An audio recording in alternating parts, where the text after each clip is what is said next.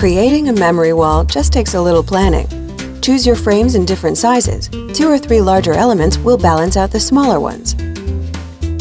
Make photocopies of the photos in the size you want, or in different sizes if you're not sure. Then, on craft paper, trace the edges of your frames, cut them out. Next, use painter's tape to tape the paper frame templates onto the wall, so you can experiment with different arrangements. Measure and mark X's on the paper where the nails should go. Finally, to place the picture hooks, hammer nails through the X's and simply rip away the paper. The nails will be perfectly spaced and ready to go.